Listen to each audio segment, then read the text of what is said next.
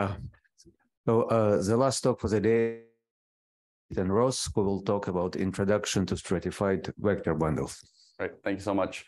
Uh, and also uh, the thousandth uh, thank you to the organizers uh, for organizing this and letting me speak.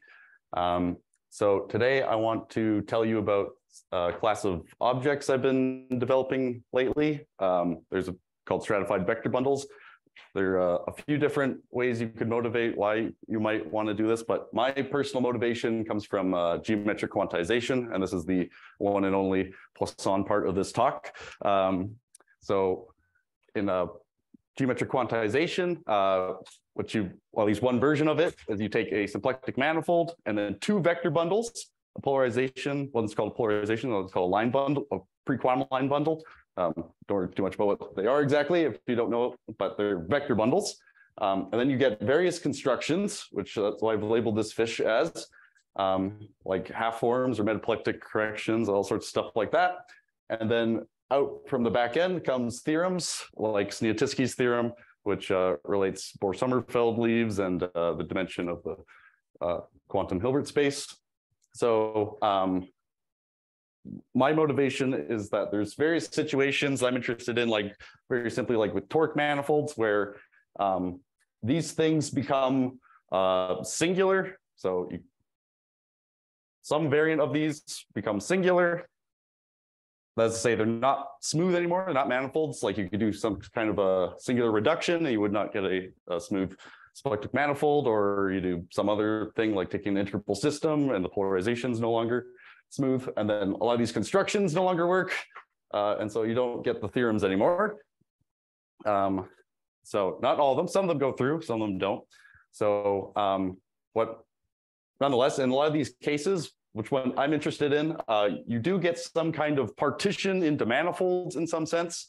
And uh, I would like to kind of develop this theory of stratified vector bundles because I think it might be a good way of getting these constructions back and then hopefully some variant of these theorems back again. Um, so that's that's at least the idea. Um, okay, but I won't have time to get into really developing the theory too much of this. Uh, all I'll have time to do is just tell you the definition and then go through uh, a few examples, I suppose.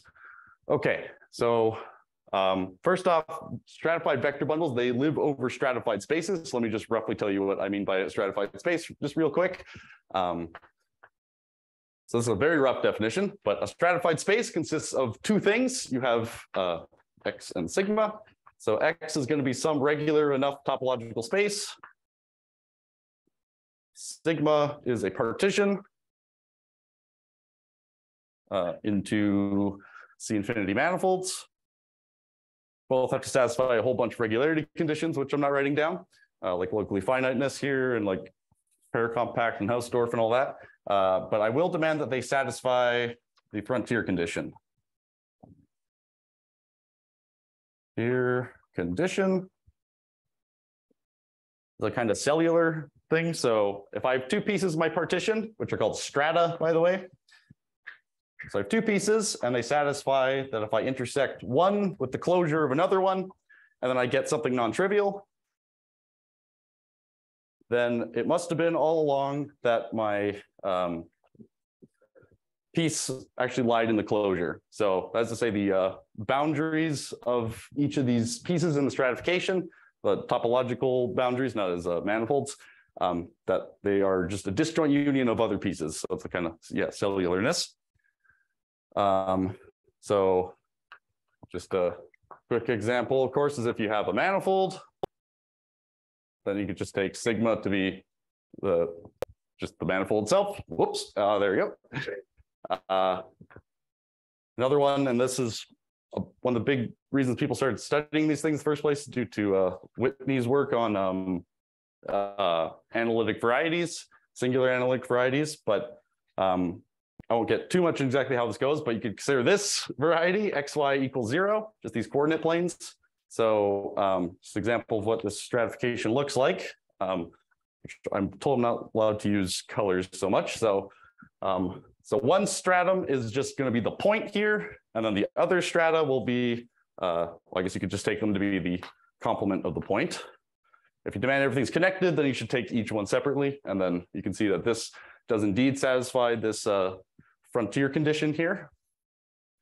Okay. Uh, now, the main class of examples that I'm interested in uh, come from, uh, well, the uh, quotients by uh, proper groupoids, but we can just do a compact group action. So G is a compact connected Lie group.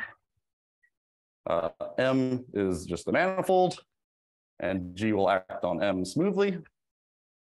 So we have our manifold here, and then we have this quotient map to the uh, orbit space. So um, this is in general not a smooth manifold, uh, but nonetheless, we can do this kind of partition construction here. But uh, first you partition M, and then it induces one down below. Um, I'll be using this later for construction, so might as well go into it a little bit. Um, but yeah, so the idea is first we're going to define an equivalence relation on M, and then we're going to get a bunch of equivalence classes, and then we take the connected components, and that's our stratification. Okay, so I'll just tell you what the um, equivalence relation is. So if I have two points in M, I'll declare they are equivalent. If uh, they're stabilizer groups, GX and GY are conjugate. So GX conjugate to GY. Okay. So this defines what's called the orbit type stratification. Again, once you pass two connected components, and we'll write like this. So SG of M, this is the set of all connected components of equivalence classes.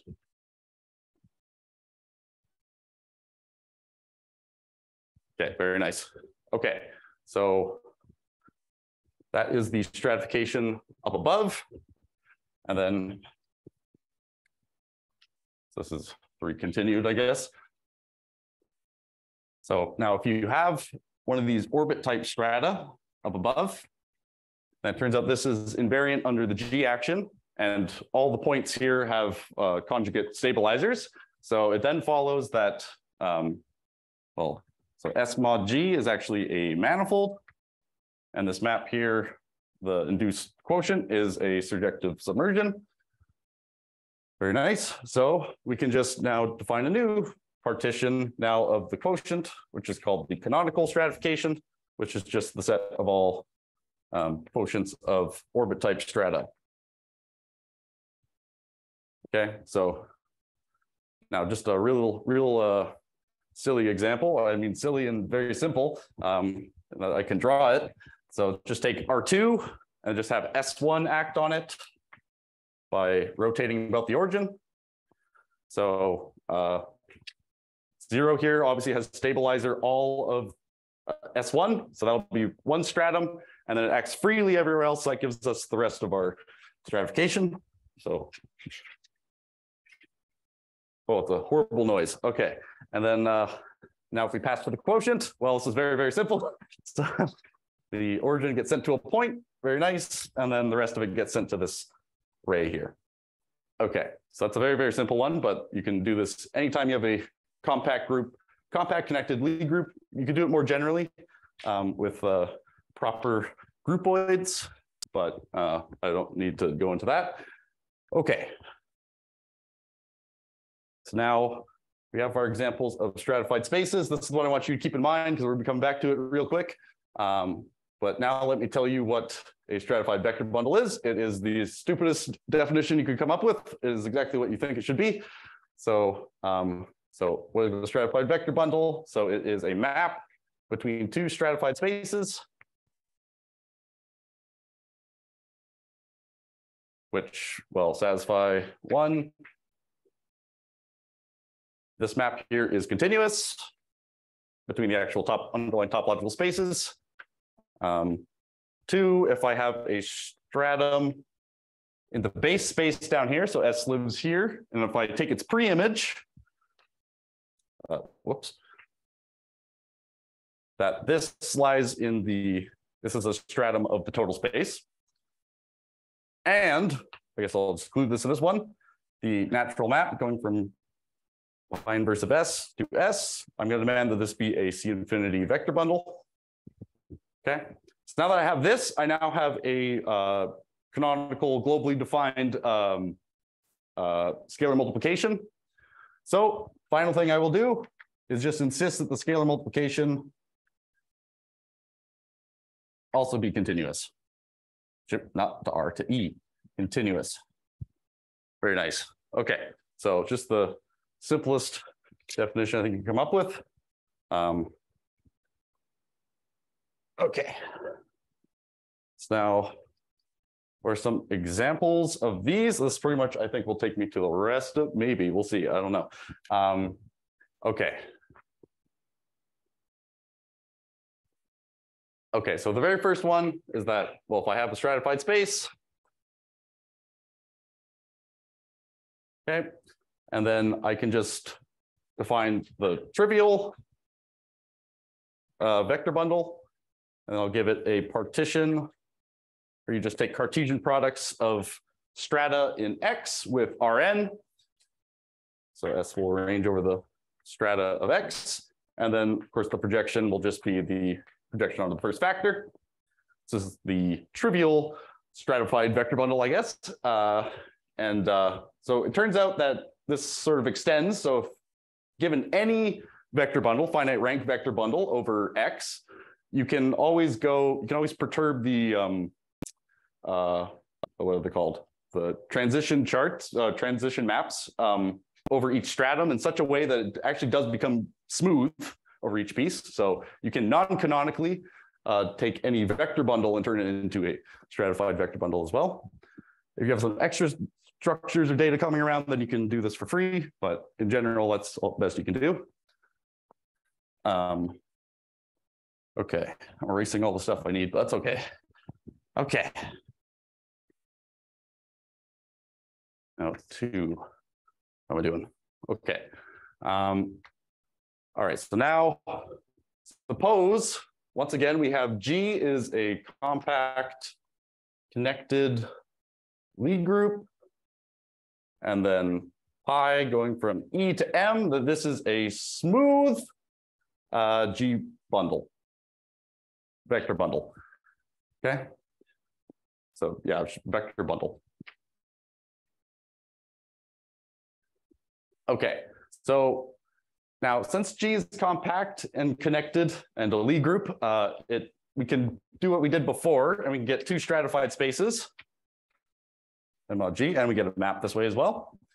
Uh, however, this is not going to be um, a stratified vector bundle in general, uh, nor will it be, in some sense, a fiber-wise vector, a family of vector spaces either. So like, let's say the fiber of any point here need not be a vector space. So it's not very vector bundly. Um, so I'll just give you a quick example, which we just did. So consider R2, that was a vector bundle over a point, and then you have the circle acting on each one in the suitable way. And then you pass to the quotient, and then you get this ray over a point, which is not homeomorphic to any vector space, provided you um, equip it with like a Hausdorff second countable linear topology or whatnot. So uh, not a vector bundle. Okay, right. So what do we do then?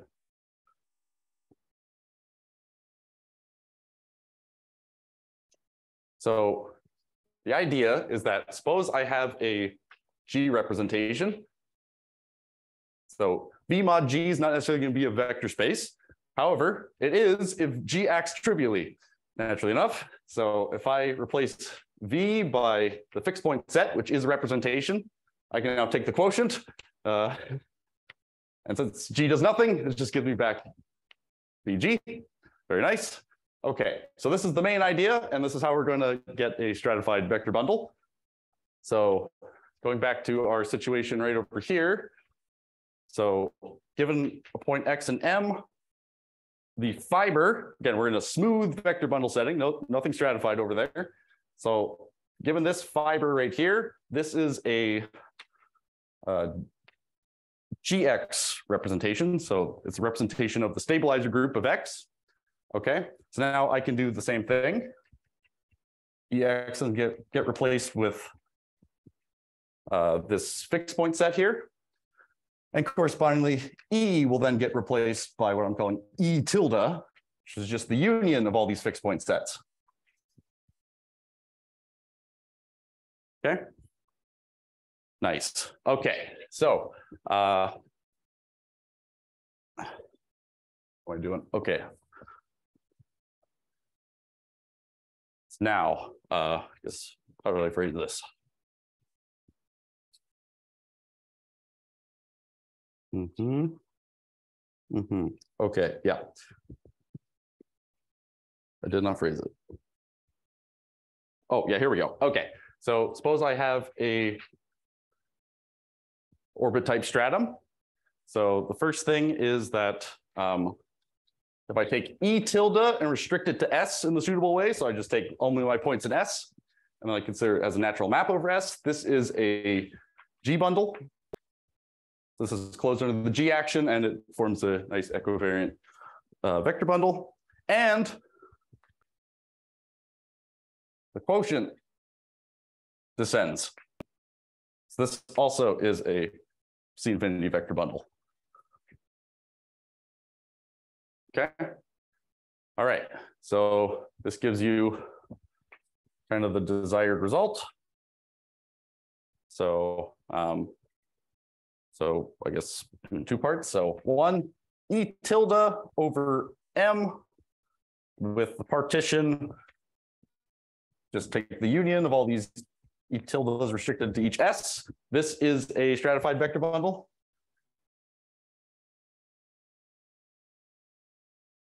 Okay. Uh, and then I guess I must continue over there.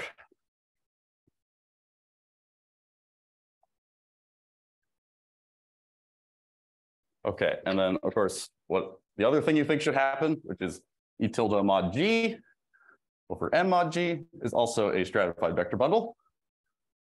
Whoop, with the partition that you think it should have. is just the union of these restricted parts. Okay. Excellent. Are there any questions up to this point?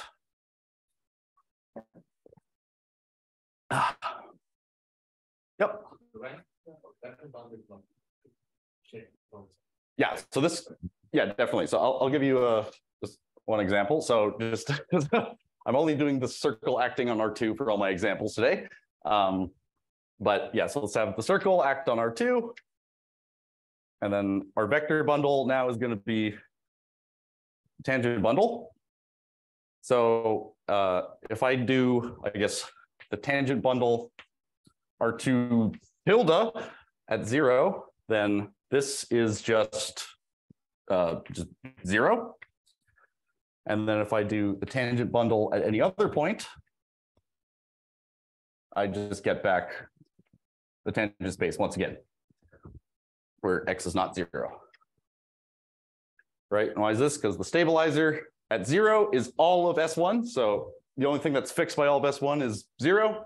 And then for any other point, well, it acts freely. So it do the full rank thing. So yeah, E tilde is almost certainly not a vector bundle in general. However, it is if G acts freely uh, or if G acts trivially. Those are two cases where you do actually get uh, a nice vector bundle, both cases. Okay. Now, don't know. Okay, I got five minutes. So let's see if I can do the last one. Which will be four. Okay, so last one is the what uh is a well, this is due to Pflaum, um, which is the stratified tangent bundle. So basically the idea is that you have a stratified space you can very naturally define its um, tangent bundle like that. You just take the union of uh, the tangent spaces of each of the strata. They're all smooth manifolds. Of course, this does not have a natural topology, so you have to give it a topology. Um, this is just set theoretic. So the idea of how you go about doing that is that you equip it with a, with a sub-Cartesian structure. So you have a family of local embeddings of X into various Euclidean spaces. as I say, so this is only defined locally, each of these embeddings. Uh, and yeah, this n can also change from point to point. And then, so you give it this family of embeddings, and you equip it with some suitable um, compatibility thing. This gives you what's called a, uh, a, a smooth stratified structure.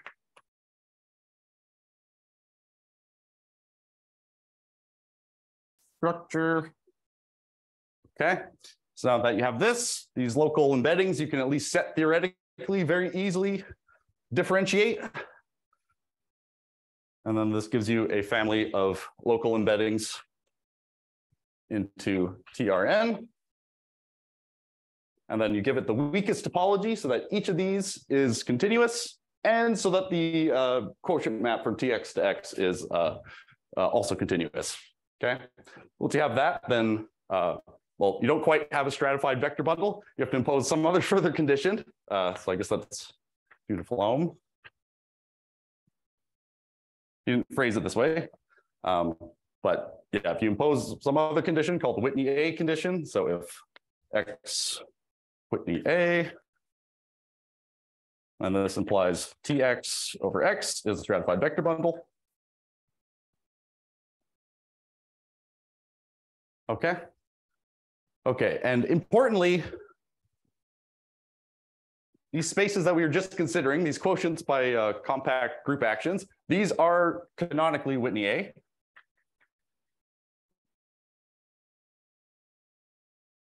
So they also have a stratified tangent bundle. Okay, so now looking at that thing I just did right here, you may wonder, do they give me the same answer? And the answer is no, they do not. They are different. so uh, you can see that. So this, so so when went through my construction here, I got something that was rank zero at zero. So you can think if I go to the quotient here, this thing is rank zero at this point here, and then it's rank two everywhere else. Okay. So if I, uh, okay, race here, I guess. So then, well, you can see right away then that R2 on S1. So if I go at the equivalence class of zero, this is zero once again. But if I go the equivalence class of anywhere else, I get one. Okay, so they're not the same. Uh, sorry, well, dimension. Okay, so they are not the same, uh, but they can be united through a variant of this construction that you can do for more general things called VB groupoids. Um, three minutes, extremely cool. All right. Um, which I don't have the time to go through the whole thing, so I'll just show you kind of how this works um, in this particular case. How to unite these. Um, so the idea is that, um, right, what you do is you first consider, so we got, again, G acting on M. Uh, so we're going to consider nu of mg. This is just going to be the union of all normal spaces, so the orbits. Okay, this is most definitely not a vector bundle, and also, well, not a lot of cases, it's not a vector bundle, and it's not even a stratified vector bundle either. Um, so whoopsies. But nonetheless, we can do a very similar thing. GX does act on each of these as a linear representation. So we can do a very similar construction. We'll get a kind of nu tilde, where we consider these fixed point sets. Okay, and now I can pass to the quotient. So I get nu tilde mod G, which makes sense. This is a stratified vector bundle, and at least there exists a continuous bijection, which is a uh, isomorphism we restrict to strata to P M mod G. Um, I need to know more about the local structure of these things, some kind of Schwarz's theorem, I think, in order to maybe conclude there's an inverse. Um, but at least it's a continuous bijection, that's for sure. Okay, uh, and I guess I'll just uh, call her there. So thank you very much.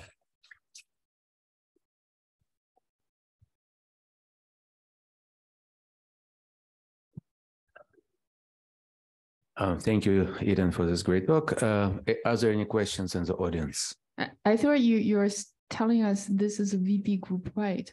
Huh?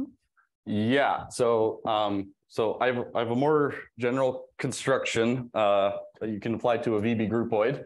Um, so the first one I gave you was applied to the VB groupoid um TM to TM over M, and then what should go here?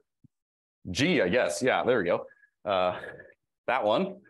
And then the second one was applied to T of this. Uh, and then same thing. Ah, Yeah. you, you, you, you, you have, you begin with the VB group, which is totally smooth and uh, end up with Yeah. uh, something Yeah, stratified. yeah, very stratified. Yeah. I- Right, so, Yeah. so, so I also wonder like uh, this sec, um, like uh, this V tilde, does it have topology or it's only up? Uh, yeah, so if you pick a like a G invariant um metric or something like that, then you can, yeah, you can give this a subspace topology. That you can give nu or V here a subspace topology, and then this inherits the subspace topology from there, kind of thing. Yeah. Thank you.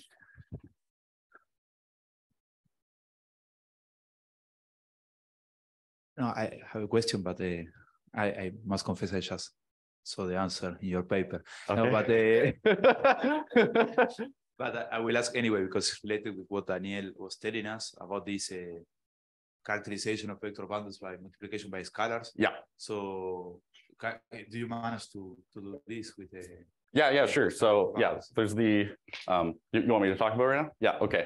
Uh, yeah, so, yeah, so there's a nice characterization of a vector bundle by its uh, scalar multiplication. So if you have a, if you have some space and then it's being acted on by R, the monoid R, uh, in a nice way, then it turns out that, so I don't know, let's give this a name actually. So mu going from E across R to E, so that satisfy some kind of uh, I'm not too sure what the name regular regularity condition or something like that. Um, so it turns out, so if it satisfies this condition, then if you take the zero section or the where zero gets sent, uh, but sorry, let's say this again. So E over everything that's been multiplied by zero, this is a vector bundle and mu is its scalar multiplication.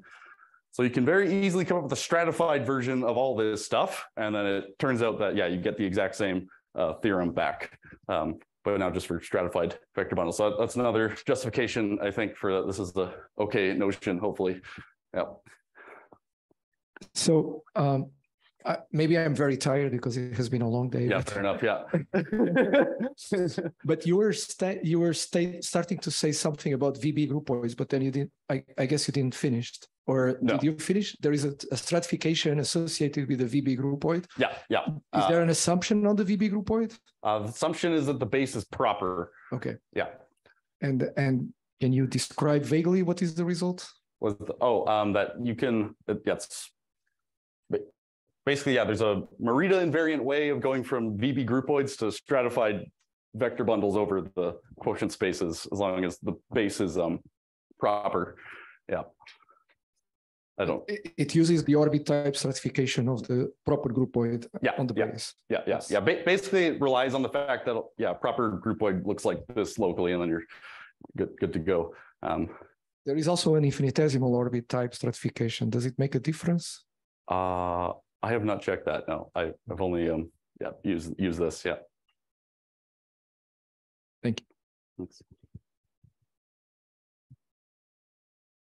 Any other questions?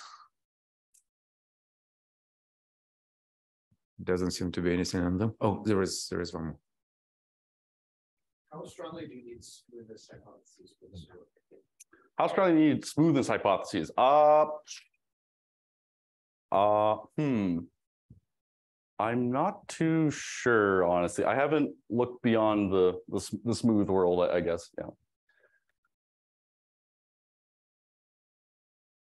All right, if there are no further questions, let us thank Eden again.